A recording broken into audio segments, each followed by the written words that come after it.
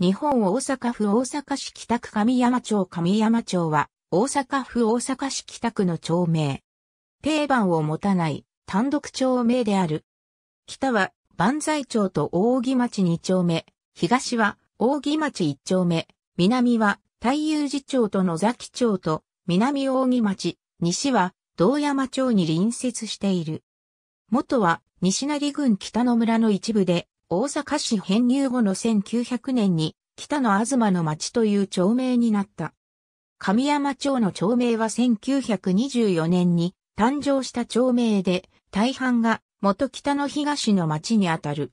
地名の由来は、戦前に綱時期天神社裏手にあった小山を指した名であり、この小山こそが神山と呼ばれたことに由来する。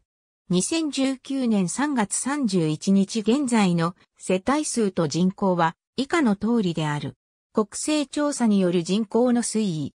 国勢調査による世帯数の推移。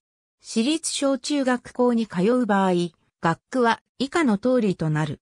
北区内のすべての私立中学校と大阪市内の小中一貫校が対象で学校選択が可能。2016年現在の経済センサス調査による事業所数と従業員数は以下の通りである。